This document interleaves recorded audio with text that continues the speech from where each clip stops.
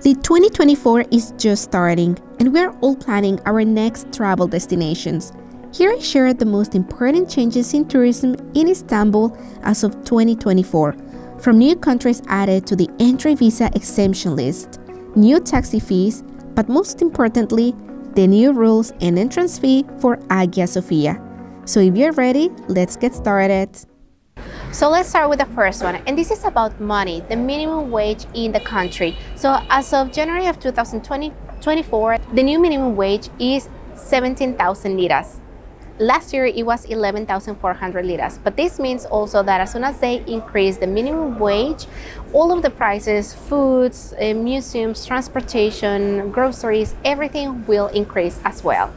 I know the next one will be very useful for you because it is about the taxis. And yes, because I want you to, to to travel safely in Istanbul, especially when you're using the taxis. Because let's remember the taxi drivers, they try to take advantage not only of tourists, also of us as residents and Turkish citizens. So that is why I will share with you the new prices as of 2024. So for example, if you're taking a taxi in Istanbul, you have to keep in mind that as soon as you get into the taxi, the taxi meter will start from almost 25 Turkish liras. The current price is exactly 24.55 Turkish liras. So, and after that, each kilometer you will have to pay exactly the amount of 17.62 Turkish liras. And also there is one minimum amount of, of fee that you will have to pay if you take a taxi. So let's imagine that probably you, you took a taxi for only two kilometers and maybe the fee shown on the taxi meter is for 65 liras, let's imagine. So since it is lower than the minimum amount, you will have to pay 90 Turkish lira. So the minimum amount for each ride, it has to be 90 Turkish liras. So my tip it is that if you're not sure how much is it gonna be for the route that you have to take in the city, always, always tell them to turn on the taximeter because the taximeter is already uh, following these new regulations. So let's imagine that probably you, you, want to take a taxi from Taksim Square to Sultanahmet Square or vice versa. It is around 8.5 kilometers by car or by taxi. So you don't you shouldn't pay more than 230 Turkish liras, only one trip. Also, if you want, you can always use these apps like Uber or Taxi. Uber, many people keep asking, is Uber working in, in Istanbul? Is it illegal? Is it this? No, it is not illegal. It is, it is already operating legally in the country and you can use the Uber app. The only difference is that instead of, of a private car like the ones in the US or many other European countries, you will be sent a normal yellow taxi. So the Uber app will be working with the uh, with the yellow taxis, and from the app you can also have an approximate of how much do you have to pay for your exact route. The next one will be about the public transportation in the city.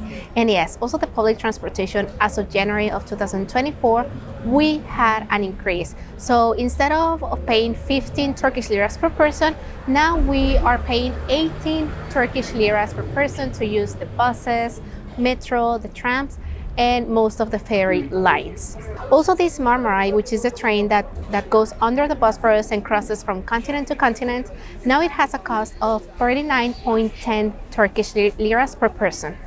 Also, if you want to learn about the Istanbul card and how to use the public transportation in the city, you can watch this other video because there I explain everything you have to know about the Istanbul card, which is the most important card that you have to use for the public transportation in the city. Another thing that you might find very interesting in the city is that you might find these very luxury cars, especially in the touristy areas like Sultanahmet Square and Taksim Square. And they are part of the police at the moment. So you might be questioning yourself if Istanbul has a lot of money or the government put so much money into the investment for these cars. No, actually it wasn't like that. It was just like some operation that the government did and they caught some people like money laundering and mafia and stuff like that. So they took all of the cars and they just put them uh, to make them part of their police and their forces. So now you will be able to see these very luxury cars in the touristy areas for the police.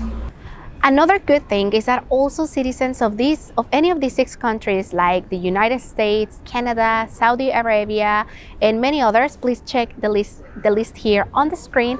Now Turkey has lifted the requirement of visa. So if you're visiting Turkey soon and, and if you're a citizen or hold a passport of any of these countries, now you can only enter with the passport. You don't have to get a visa to visit Turkey. And also some of the main museums and some of the major attractions in the city also increase their prices as of January of 2024. So for example, if you also want to visit Galata Tower, now you have to pay the amount of 650 liras per person. When it comes to Dolmabahce Palace, now the full ticket for the place costs 1,050 Turkish liras, and for Basilica Cistern is 600 Turkish liras. So as you can see, all of these places literally double the prices. The next important update will be about Topkapi Palace. So if you want to visit this museum in 2024 now you have to keep in mind that the price is quite high. So for so now you have to pay 1500 turkish liras which it is around 50 dollars per person. But the only difference from last year is that this time you cannot choose the tickets of the areas that you want to visit. So for example for 100 for 1500 turkish liras you can visit the palace the harem and Hagia Irene. You don't have any option as in the past to choose either the palace or the palace plus the harem or just the palace. So now you have to buy the whole the whole ticket for the full place. But the benefit here is that if you have the Museum Pass Turkey or the Museum Pass Istanbul, this one is already included in that card. I don't know about you, but I'll be very honest. I think that $50 per person to visit the palace is a little bit high. I don't I don't recall visiting in the past even in Europe, uh, palaces or places or museums for even more than 30 euros. So I don't know, let me know in comments below if right now in, in other cities that you have visited, if you have paid this much for a museum or a palace. But probably one of the most important changes of 2024 in Istanbul will be that if you want to visit the Hagia Sophia, now you have to pay a fee. If you want to visit Hagia Sophia, keep in mind that you have to pay 25 euros per person and children under 80 years old, they are free to enter. When it comes to the dress code to visit the place, you have to still follow the dress code as if you're visiting a mosque because let's remember Hagia Sophia hasn't become a museum once again. Still it remains as a mosque. The only difference is that you have to pay as a foreign tourist for an entrance fee. So in this case women we still need to cover our hair and dress modestly and the same for men Another important thing is that there is an audio guide available at the ticket office. But for this, if you want to, to use it, they will only provide you with the uh, with the little audio guide, but they will not provide you with the headphones. Um, actually, you can get them, but they will charge you 100 Turkish liras, which, which at the moment might be like four or five dollars per person. So as a as a recommendation, I will suggest that if you want to get that audio guide, if you are not visiting Hagia Sophia with a guide then bring your own headphones. That way you will save 100 Turkish liras. Also, people with difficulties eh, in going up the stairs or, or even people uh, using a wheelchair is not accessible for you. So in this case, you have to, you will only have access only to the first floor of the mosque. You cannot really access the, the gallery because it is impossible. Let's remember also that many years ago when Hagia Sophia used to be a museum, we could enter using our Museum Pass Istanbul or Museum Pass Turkey. But right now, it is not like that. So basically, the museum passes are not accepted to visit Hagia Sophia as of January 15 of 2024. And there is another news that also for Turkish citizens and for us residents, there is no discount for us to enter the, the galleries. So basically we will have to pay the same amount as foreign tourists. This means 800 Turkish liras. Now some of you might be wondering if finally we can visit uh, Hagia Sophia, the first floor, the second floor, that means every single corner of the place. Well, let me tell you that there is a bad news and it is not going to be like that.